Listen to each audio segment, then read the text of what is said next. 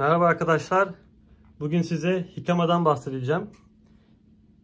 Hikama aynı zamanda Meksika turpu da diyebiliriz. Gördüğünüz gibi. Biraz böyle patates ya da turpumsu bir görüntüsü var.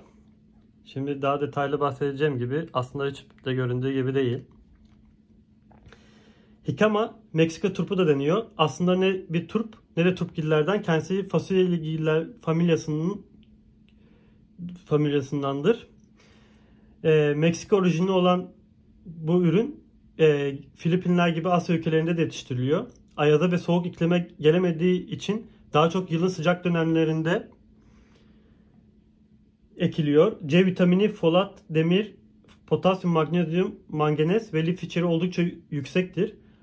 Az miktarda E, B1, B2, B5, B6 vitaminleri ve kalsiyum, çinko, fosfor ve bakır da içerir. Liflerin önemi ile C ve E vitaminleri antioksidan olduğu için oldukça e, yararlıdır vücut için. Ancak değinmek istediğim bir özelliği daha var Hikama'nın. Hikama prebiyotik bir lif olan inulin içeriyor. İnulin sizin vücudunuza yararlı bakterileri besliyor. Prebiyotik gıdalar yiyerek obezite, böbrek rahatsızlıkları, diyabet gibi kronik rahatsızlıkların gelişim riskini azaltabilirsiniz. Bu, bu tarz ürün yani. Hikama Asya mutfağında kullanılır. Genelde çeşit, çeşitli salatalarda ekstra çıtır çıtır e, tad, tadı olduğu için atılır. E, ondan sonra Meksikalıların guacamole avokado ile oluşturulan bir sosu var. Onun da e, onunla beraber çiğ olarak da tüketilir.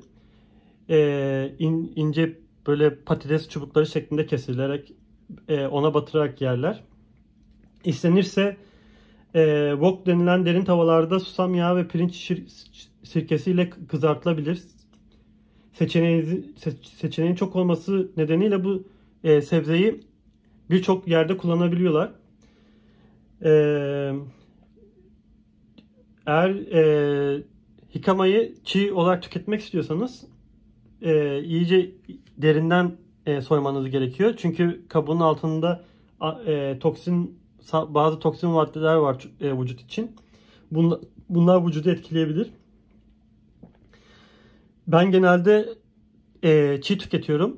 Bizim e, ben birkaç tane işte Meksikalılarla konuştum bunun yapımını. Onlar genelde çok tüket, tüketirler bu ürünü. Onlar bana dediklerine göre patates cipsi gibi böyle kare kare ince uzun keseceksin.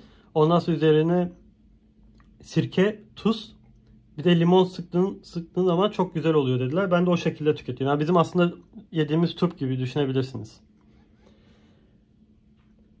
Şimdi size içini göstereyim. İçi ama çok böyle bir farkı yok. Birçok şeye benziyor. Önce bir soyalım böyle derinden.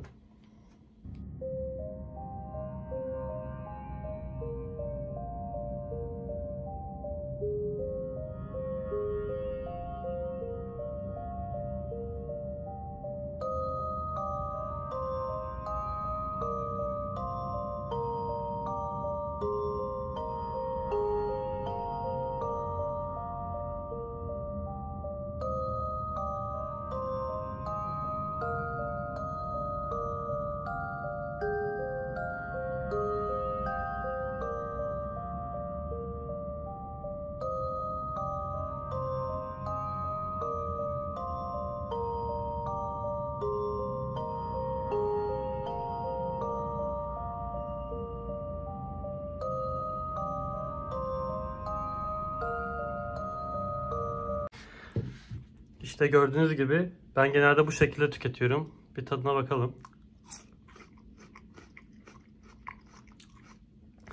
Elmanın çok çok hafif şeker şekerli halini düşün. Yani hiç böyle çok hafif bir şekerli ama böyle çıtır çıtır gibi düşünün tadını. Tuz ve sirke, limonla çok da güzel oluyor. Benim genelde çiğ olarak tükettiğim bir üründür.